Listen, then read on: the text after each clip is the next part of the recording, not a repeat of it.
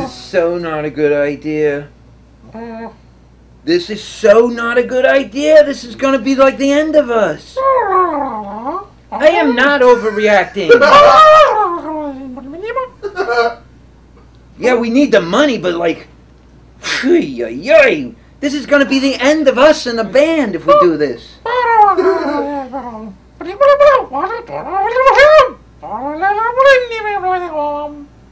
It's not just about the money, Skrumps.